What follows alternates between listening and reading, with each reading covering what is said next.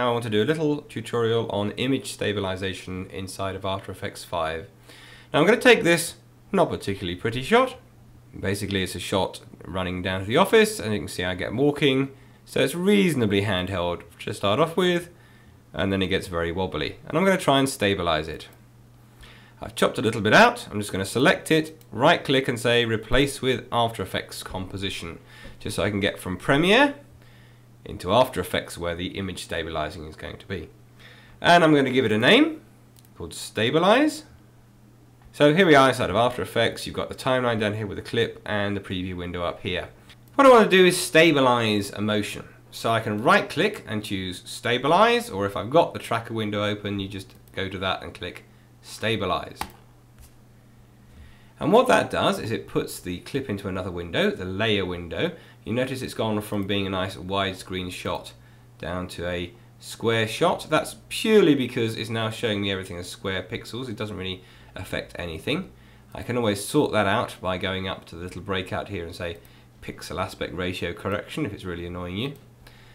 What I now want to do with this shot is to get the computer to follow a particular point and then use that to stabilize it. So what am I going to use? I've got this little box sitting here in the middle saying track point 1. This is the little box that's going to do the tracking. What's it going to track? Well, let's stick it on the car at the end. I'm going to try and grab hold of it, but actually it's quite hard to grab hold of it. If you're not careful, you'll grab hold of the wrong thing. So I'm going to zoom in first, use the mouse wheel, just to zoom in a bit.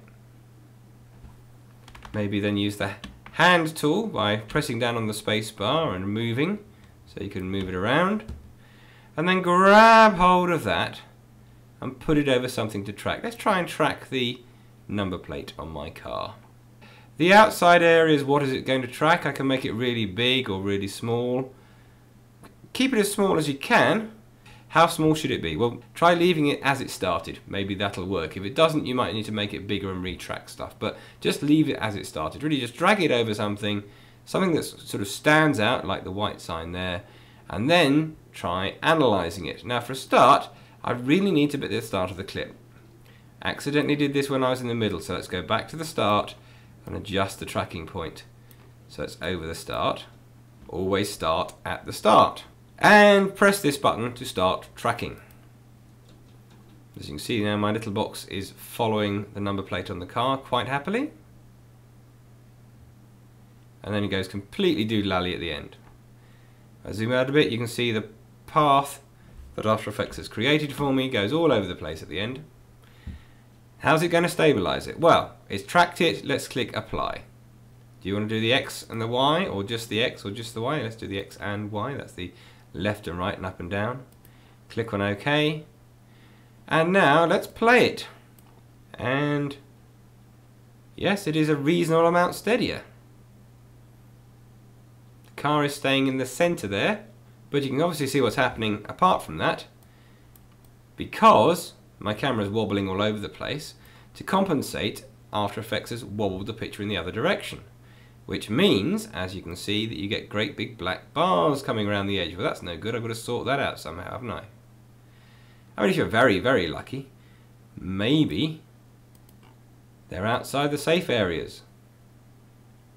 Maybe if they're outside the safe areas, people won't see them. But, you know, you've got to do something about that, frankly.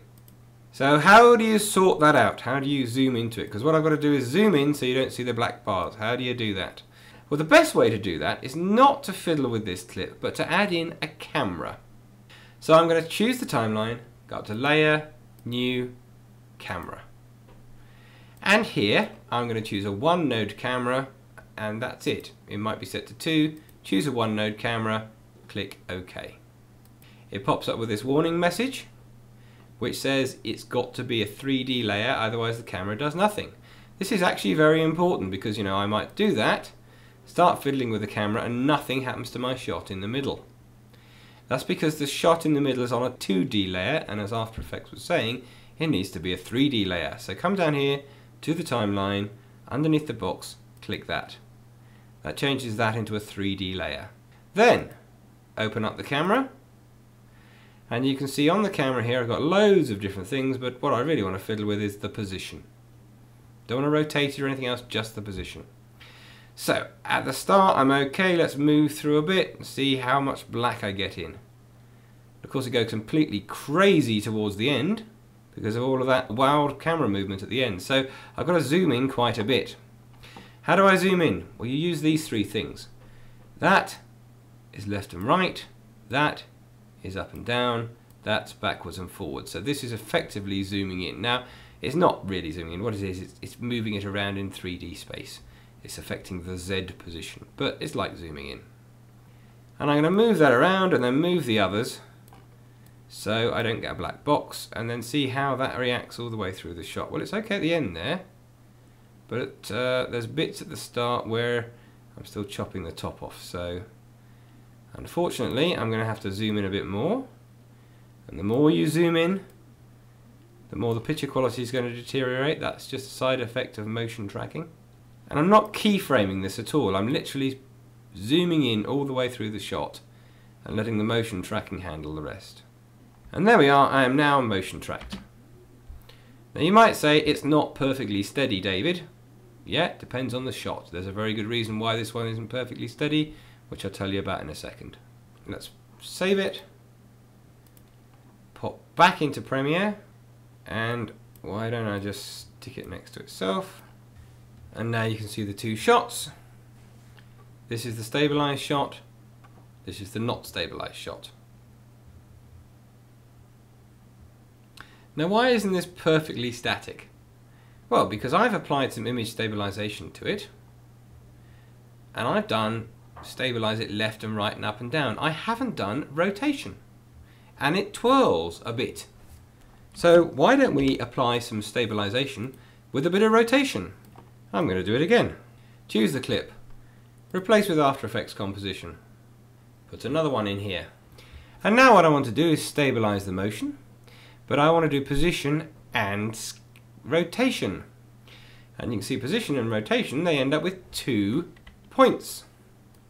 Point one, let's put that over the car and point two, maybe put it over that grass. Or let's put the side of the bin, how about that? Maybe that'll help. So set up two points so it can track two different things. Make sure it's at the start, click analyze, and off it analyzes. See what that does. Oh, it's lost it at the end. No doubt about it, right at the end there, it's just far too busy, but it'll do a pretty good job up to there. Click on apply, choose X and Y, and now you can see, especially towards the end, it's actually rotating the picture so that everything in the center is staying level. Now to sort that out again, I'm going to have to do the same thing, add in the camera, and then fiddle around with the camera so that you can actually zoom in and see everything. Whoop, not affecting it. Why isn't it affecting it? Forgot to make it a 3D layer. Click the little 3D layer button. Yeah, there we are. It's done a much better job of stabilizing.